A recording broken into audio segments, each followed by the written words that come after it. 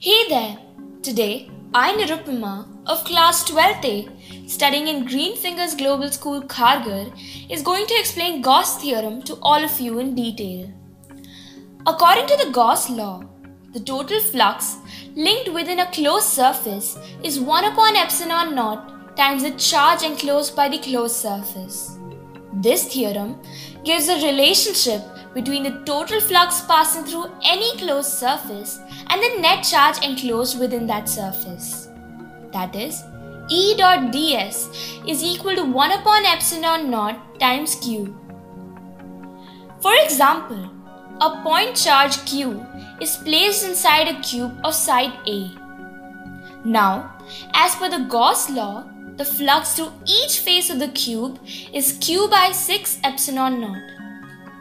The unit for electric flux is Newton meter square per coulomb. This law is one of Maxwell's four equations which form the basis of classical electrodynamics. Gauss's law can be used to derive Coulomb's law and vice versa.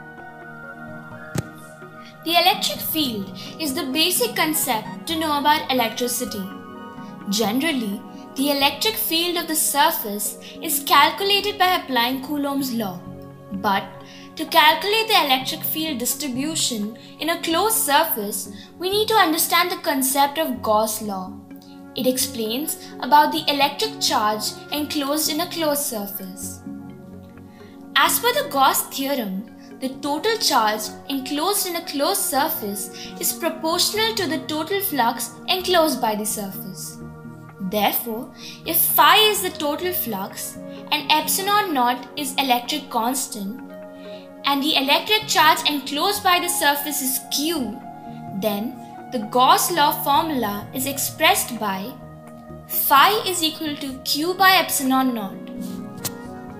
Any hypothetical closed surface enclosing a charge is called the Gaussian surface of that charge. Equipotential surface is any surface with the same electric potential at every point. The Gauss theorem relates the flow of electric field lines to the charges within the enclosed surface. If there are no charges enclosed by a surface, then the net electric flux remains zero. This means that the number of electric field lines entering the surface is equal to the field lines leaving the surface. Note The Gauss law is only a restatement of the Coulomb's law. If you apply the Gauss theorem to a point charge enclosed by a sphere, you will get back the Coulomb's law easily. Gauss theorem is valid for any closed surface and for any general charge distribution. The net flux enclosed through a closed surface due to a charge lying outside the closed surface is zero.